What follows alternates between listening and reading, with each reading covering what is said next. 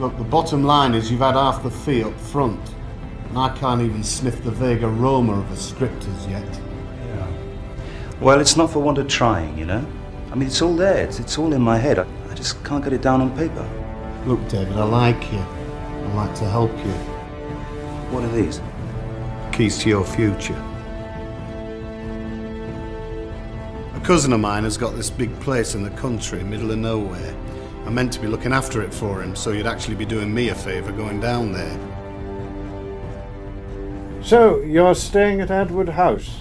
Oh, news travels fast in this area. Not on your own, I trust. Yes, I'm on my own. Probably heard some of the stories that go along with that place.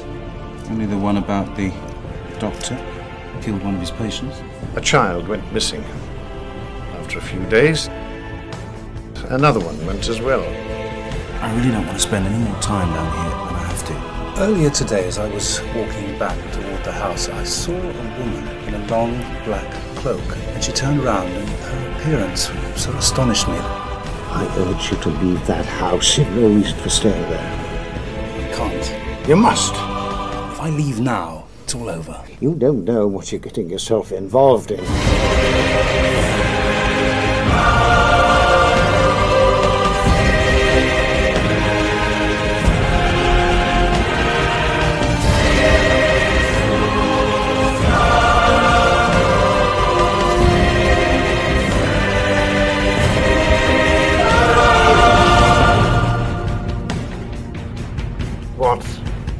Is it that you've seen?